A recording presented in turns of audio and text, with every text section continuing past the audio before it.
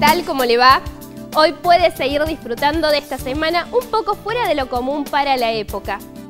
Casi no va a ser frío en algunas provincias del, del centro, es decir, va a estar fresco, pero no frío. ¿Por qué hago esta aclaración?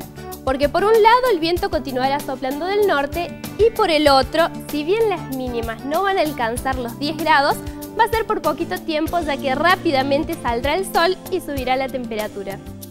En general va a estar despejado o ligeramente nublado en la zona del litoral y en la región pampeana, con vientos moderados del norte y leve ascenso de la temperatura. Al norte de Santa Fe se espera una mínima de 12 grados y una máxima de 25. En la zona central la mínima va a ser de alrededor de 10 grados y la máxima de entre 23 y 24 grados.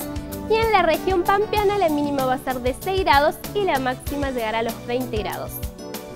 En la provincia de Córdoba va a haber mucho sol, muy poquitas nubes al norte, en Villa de María de Río Seco y Totoral, y al oeste en la zona de las sierras. Las mínimas van a ser de alrededor de los 10 grados y las máximas alcanzarán los 24. Y al sur, bajita las mínimas de entre 6 y 8 grados en Villa Huidobro y Huincarrenanco, con máximas que llegarán a los 20 grados. Ahora veamos cómo continuará el tiempo el fin de semana.